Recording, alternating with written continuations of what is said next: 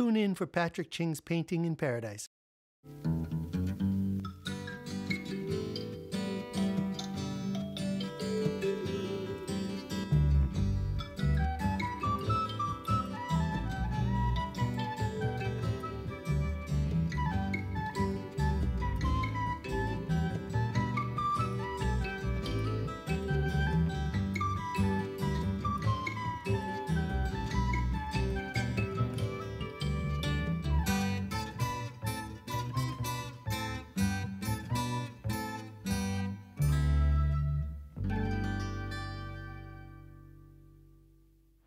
Aloha, I'm Patrick Ching and thank you for joining me on Painting in Paradise. In this episode, we learn about the seahorses of Hawaii. We'll learn about different kinds of Hawaiian seahorses and get to see them in their ocean paradise. We'll meet a man named Jeff Milisen, the author of A Field Guide to Blackwater Diving in Hawaii. Jeff goes night diving in the vast open ocean to get photographs of these amazing sea creatures. We'll even see some pregnant male seahorses. What? That's right, the males are the ones that give birth. Whoa! Then I'll show you how to draw a seahorse, and we'll have a seahorse painting party. All this on an amazingly aquatic episode of.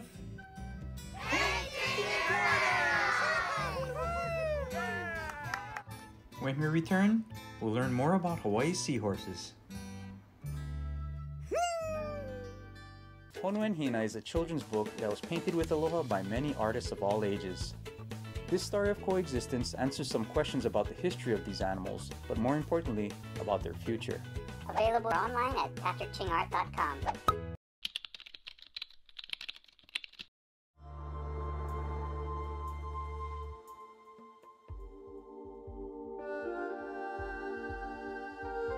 The amazingly interesting seahorse is actually a fish with bony rings throughout its body, a strong tail, and a long snout. Its face and arched neck resemble that of a magnificent horse, and so it gets its popular name of seahorse.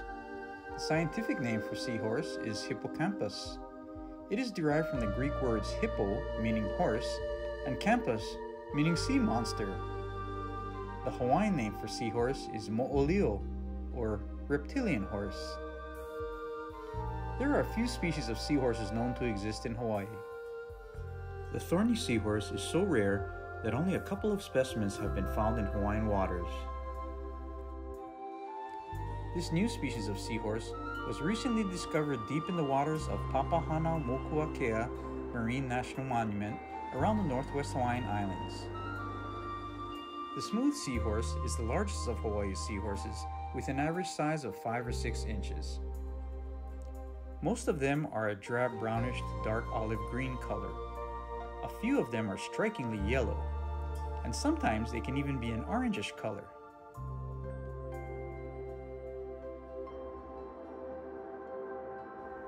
Seahorses are related to pipefish, which are like seahorses but lack the curves. Seahorses and pipefish feed on small shellfish and plankton. Seahorses are not especially strong swimmers. Their dorsal fins move rapidly to help them move through the water. They also have pectoral fins, which are located in the area on the side of the head, right where you'd expect an ear to be. One of the most interesting things about seahorses is that the males are the ones that give birth.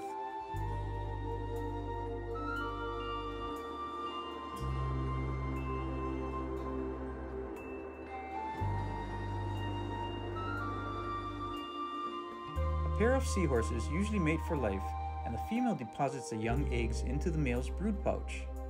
After a few weeks, thousands of tiny seahorses are expelled from the bulging pouch of the male.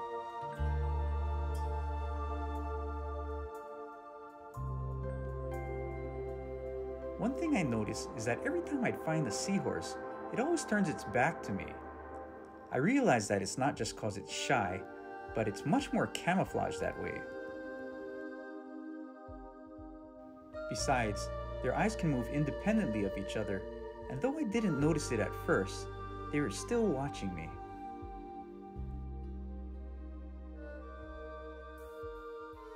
Fisher seahorse, also known as the Hawaiian seahorse, is found in the deep open ocean. Here to tell us about it is Jeff Milisen. Hi, I'm Jeff Milisen, and I'm an underwater photographer and author of a field guide to blackwater diving in Hawaii. Blackwater diving is where we go many, many miles offshore at night to look at, well, a couple of different types of animals. One of those being plankton that live up near the surface of the water, and another one being vertical migrators that live very, very, very deep, at least during the day. Now, there's not a lot to eat that far deep during the day, thousands of feet underwater. So every night they have to come up to the surface to feed off of all of that plankton. And that's where I go scuba diving to go look and photograph animals. And this wall behind me, you see a smattering of those, including like squids and octopuses and larval fishes and angler fishes and cookie cutter sharks. But what I'm here to talk to you today about are seahorses. The one that I see is called the pelagic seahorse or Hippocampus fisheri. Uh, pelagic means open ocean, so these animals never come back to shore. They spend their entire lives drifting around the open sea, and they've only been found around the Hawaiian Islands. And they tend to be kind of small, about yay big. So Hippocampus fisheri, um, that's the seahorse that we see. Anyway, Patrick, thank you so much for letting me on your show today. And uh, ladies and gentlemen, thank you for listening. Shall we wrap that up? You think we have enough to give them? I think so. I, that was perfect. Now get your papers, pencils, and whatever you want to draw with ready, because when we return, I'll show you how to draw a seahorse. Hey friends, it's me, Patrick Ching, and I'm here to introduce you to the Papa Papahanaumokuakea Song and Color Book Project. All you gotta do is just go to uh,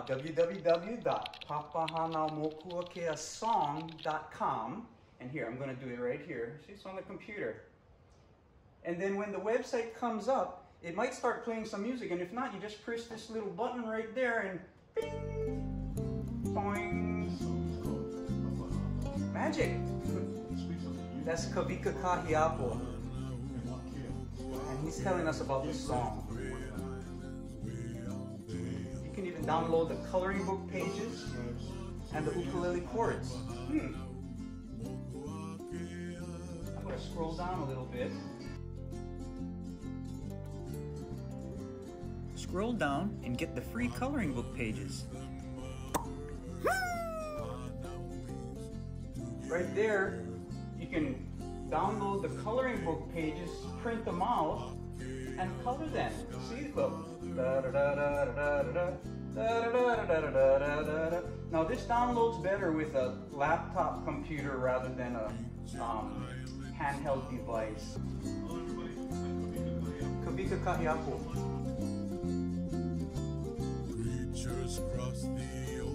So if you want to learn a lot and have fun doing it, download, print, and color the pages at papahanaomokuakeasong.com. papahanaomokuakeasong.com. Sacred places need our care. Papahanaumokuakea. All right.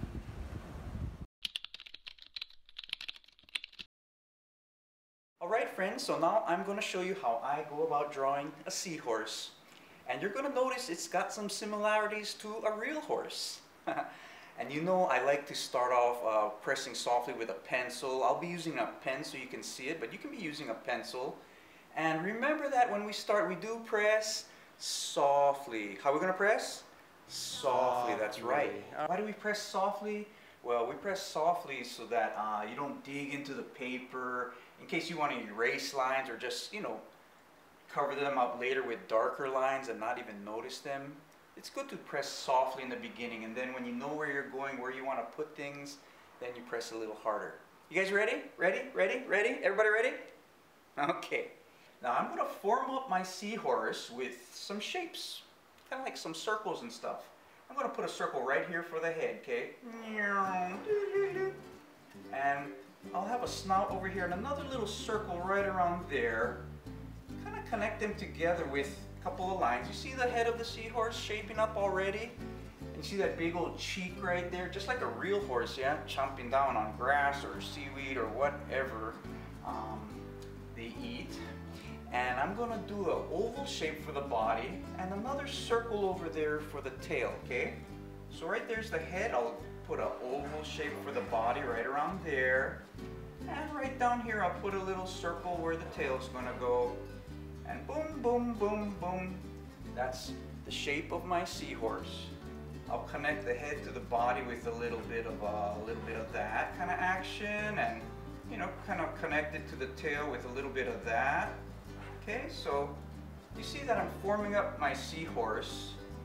Give him a little bit of a couple little bumps up there, and right over here um, is where the tail comes down. I'm going to give a little bit of a circle and then come around back here and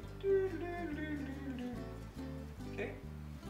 So right there I formed up most of my seahorse except a couple of little cute things and that is a fin back there. Yeah, it's called a dorsal fin. Bing, bing, bing. They also got a fin back there. I don't know what it's doing there, but you know, you can kind of give it a little bit of a fin back there too. Bing, bing, bing. What else is missing? Well, the maka of the eye. Yep, I like to give it a little circle for the pupil and a big, big kind of a roundness around the maca, yeah? Make them look real cute.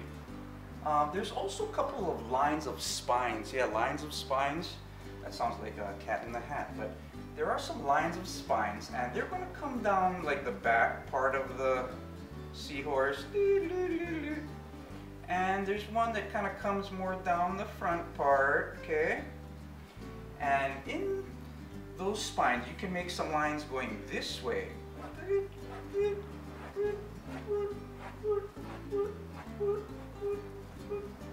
Yeah, really. So that is a simple yet effective way of forming up a seahorse. Uh-huh. So I'm gonna make something that the seahorse is hanging on to, and I'll make him hanging on to some uh, limu, some algae, um, uh, yeah, the foot of the rat seaweed. okay, I'm gonna make it coming out right here. Yeah, and this is kind of a fun type of a limu to make. And I'll have some over here. It's got all kinds of beautiful, like succulent shapes. Oh, so nice. Yeah. And that's another opportunity for you to add color to your drawing, okay? So, um, yeah, I'll make that plant coming down there and now you could make coral or whatever, you know, things swimming in the background, other seahorse, you know, maybe a man seahorse or lady seahorse, sea turtles, uh, sea cucumbers, whatever you want to put in your painting you get to, okay? Okay, so now that we've got our seahorse formed up and we got some background, we've got some uh, limu, the vavaeole limu, I'm going to get a bigger pen. You can press harder with your pencil or you can get a pen or marker or whatever. And I'm going to start my details now. I tell you what, I'm going to start right around his cheek over there or her cheek. Bing, bing, bing, bing, bing. Nice and big cheek. Kind of like the mouth like that.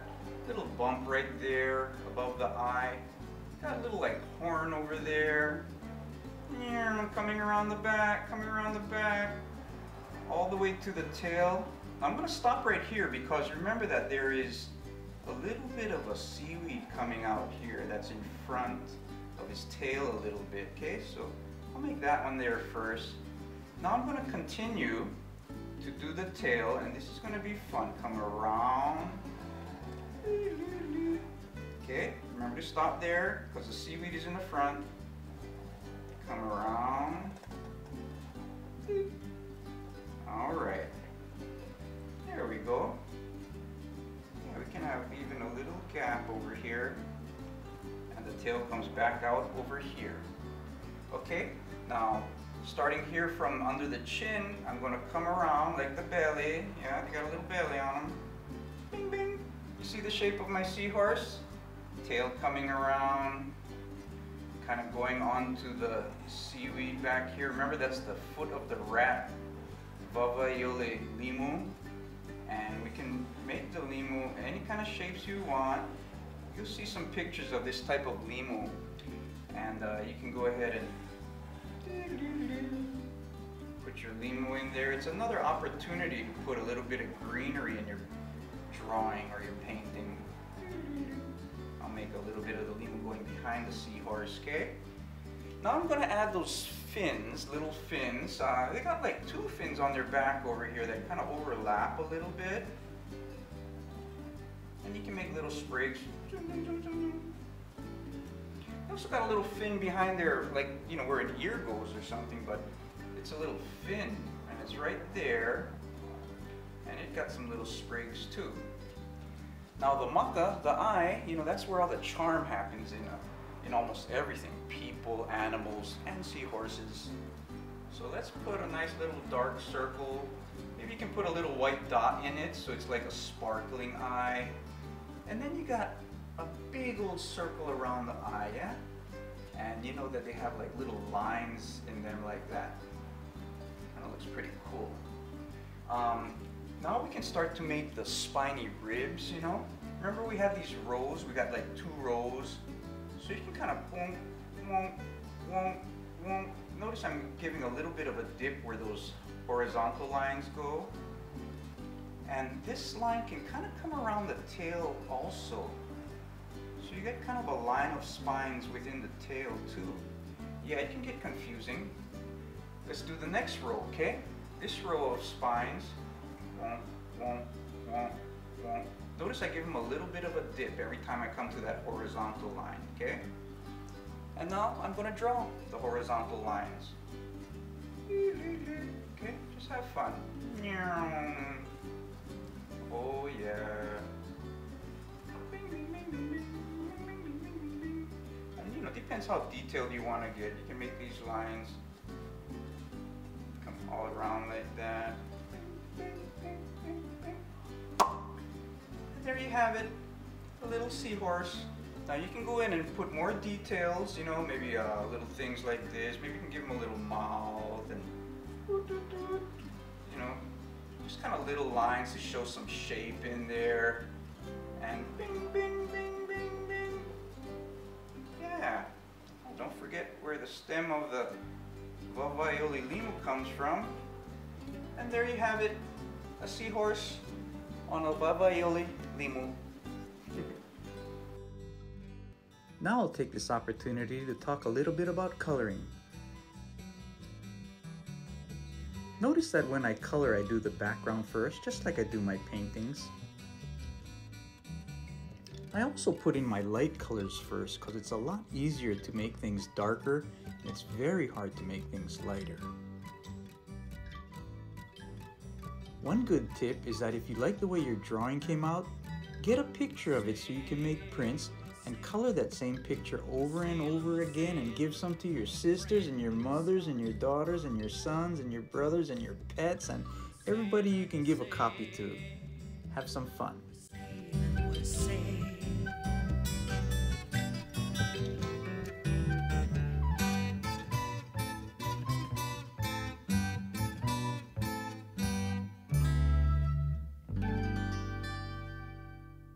When we return, we'll have some painting fun. If I were a painter, I would paint my reverie. If that's the only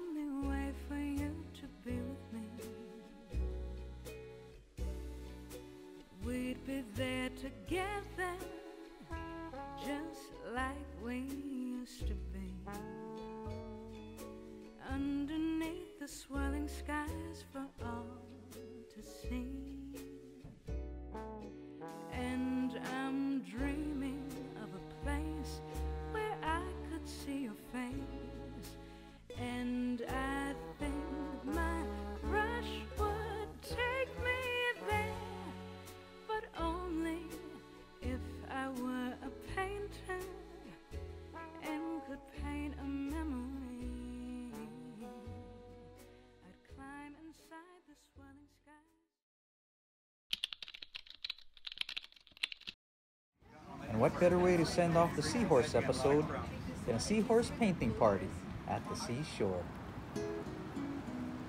First, we went over our drawing lessons, Put some lines in between. and then we started painting. First, we did the background, and then the seahorses. And then we just let the paint and the laughter flow.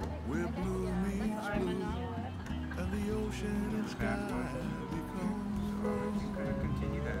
This is creating the like two rows we did. Yeah. Where the mountains and the sea, they call out to me, come on over. And the peaceful sound of the waves come rolling in. Waimanalo, no other place to be.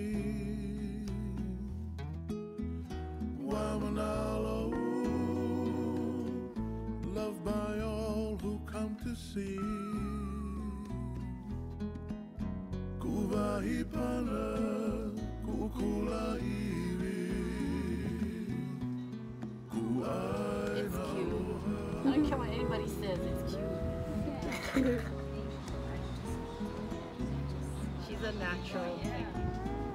The kupuna and the keiki, come and lay oh, at Kaiona. Beautiful. I hope we see more patches of colors here because anything can happen here. With a bush with a little bit of white and like an aqua, a little bit water right here. You see? Give a hint of more tail wrapping. Take me back to another time. There.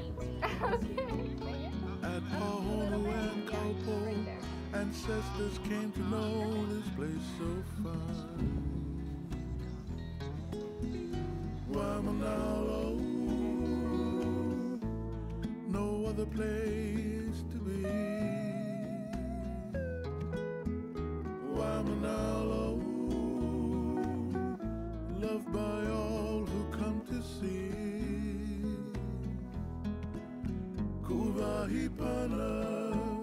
By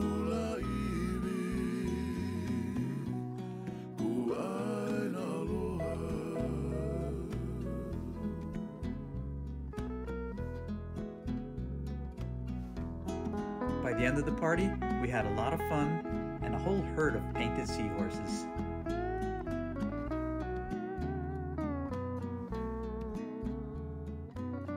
Thank you for joining me on Painting in Paradise. I hope you enjoyed learning about Hawaii's seahorses. I'd love to see what you created, so why don't you send pictures of your art to aloha at patrickching.com. aloha.